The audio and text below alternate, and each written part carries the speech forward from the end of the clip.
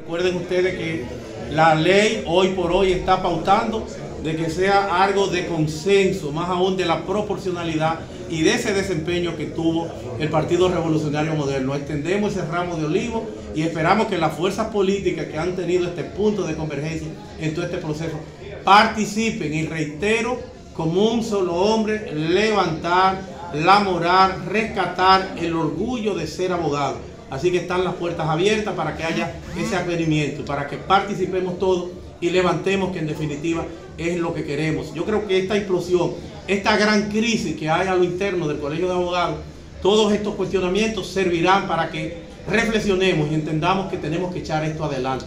Pero eso se hace en conjunto, no es completo, no es con problemas, tenemos que acercarnos, tenemos que sentarnos, tenemos que dejar de ser una vergüenza, que es lo que estamos constituyendo para la familia dominicana y sobre todo en particular eh, para la familia jurídica. Yo creo que es momento. Sin embargo, dice el candidato.